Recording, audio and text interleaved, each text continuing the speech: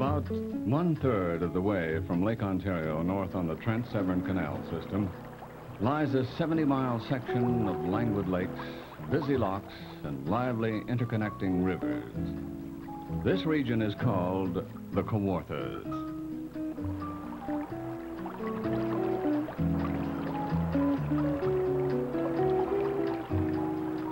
The Indians of long ago named the region Kawartha, meaning bright lands and shining waters.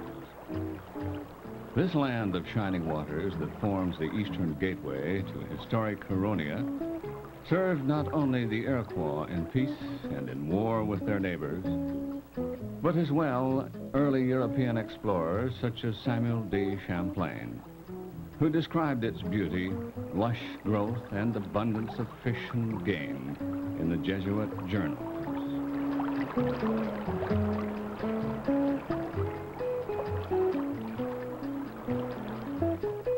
Today, the Kawarthas is known as one of the select regions for fishing and hunting. Visitors come from all over North America to see and enjoy the land of the shining waters. From prehistoric Indian to the bikini-clad miss of today, visitors and residents for all time will admire and enjoy the Kawarthas, truly a land of shining waters.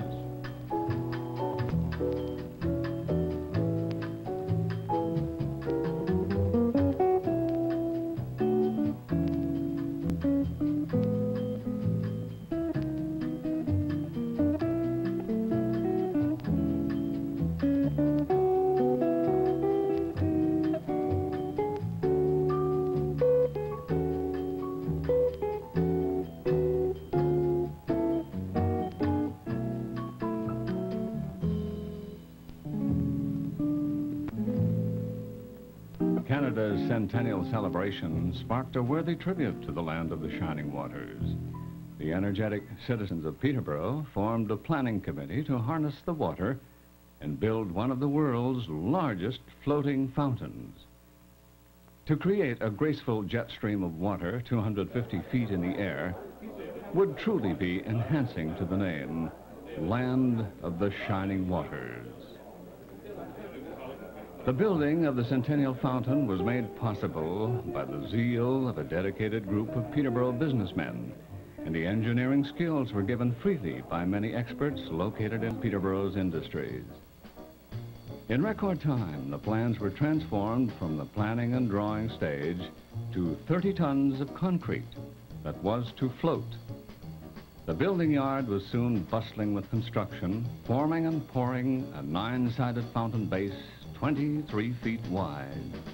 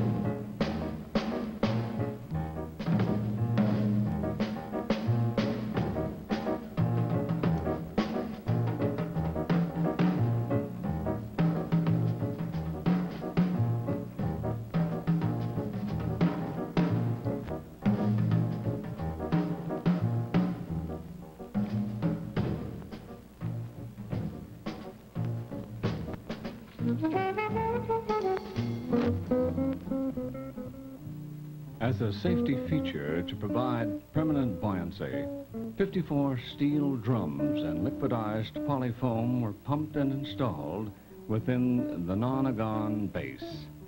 Inspections were made at every turn, and the fountain's base was taking shape and form.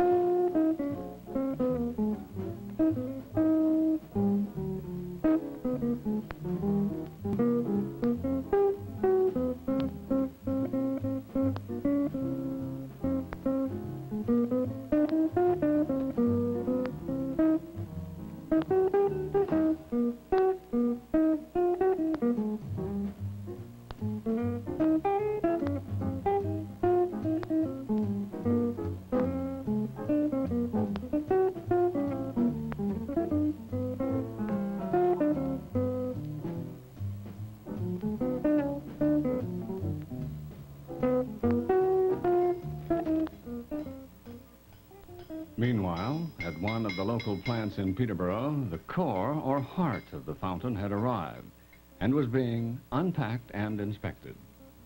This 3,200 pound cartridge of perpetual energy, over 12 feet long and 15 inches in diameter, would pump a steady stream of water 250 feet high, eight months of the year.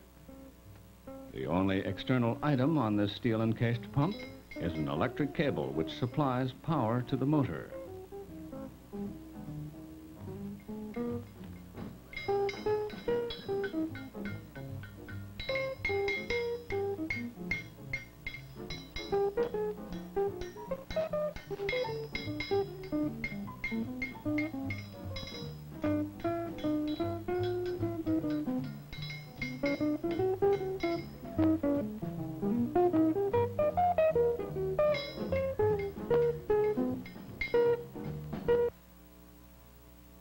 It should be said here that this pump is the only kind in the world designed in this manner. The motor is completely encased and lubricated with water. There are only three major moving parts to permit minimum maintenance and long service. The extraordinary heights are reached with a carefully designed nozzle, which is also 12 feet in length, providing the proper transition of leaving the pump at 7 inches to leaving the nozzle at 3 inches.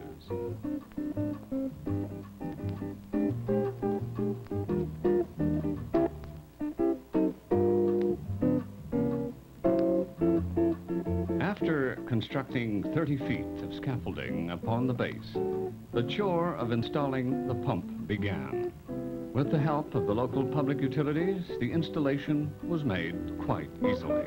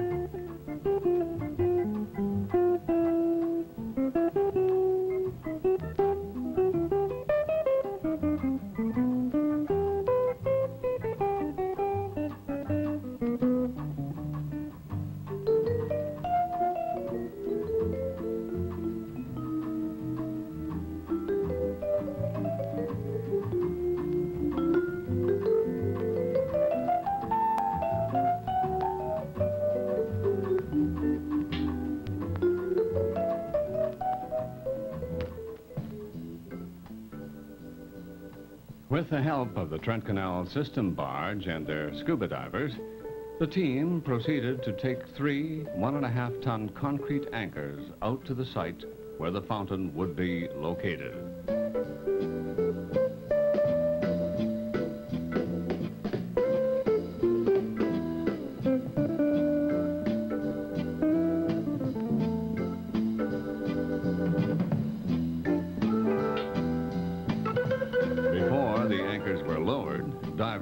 Check the depth of water and mud at the bottom of the lake, which varied from two feet to six feet deep.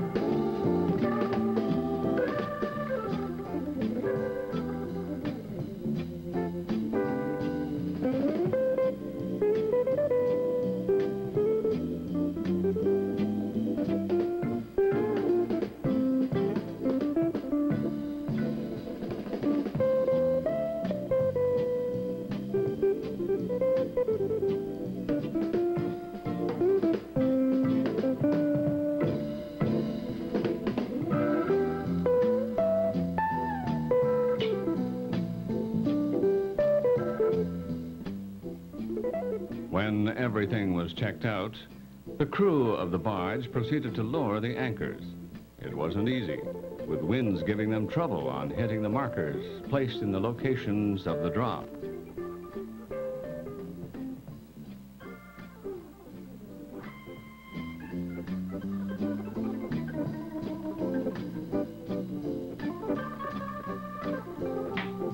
When all the anchors were in place, the base holding the pump and its electrical devices were towed out to the site, where thousands of viewers would see the 250-foot emblem to the land of the shining waters.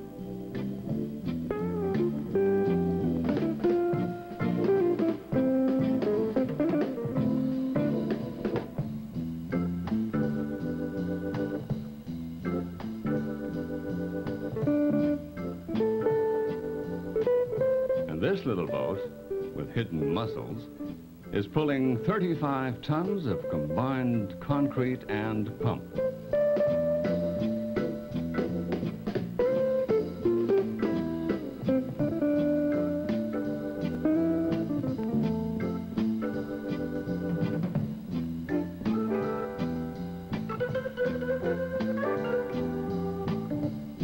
Looking from here, which is on St. Charles Point, you can see where the fountain will be located be the background of all the aqua shows put on this natural aqua theater Little Lake.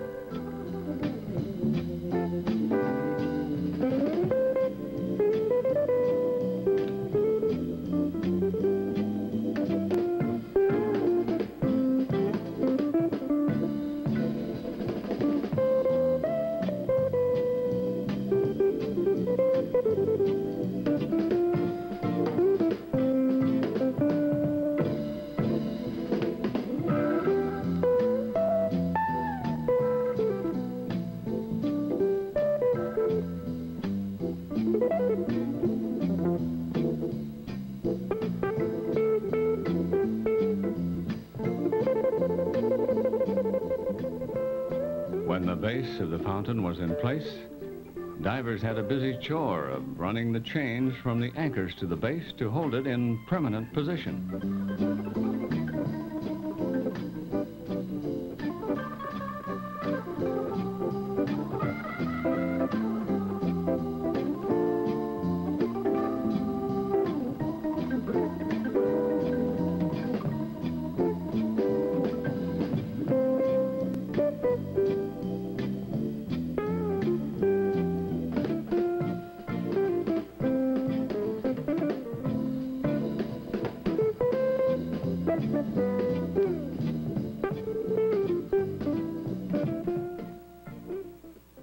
the starting fountain celebration, the Peterborough Water Ski Club staged a show for the anxious crowd that was waiting to see the Centennial Fountain. Thank you.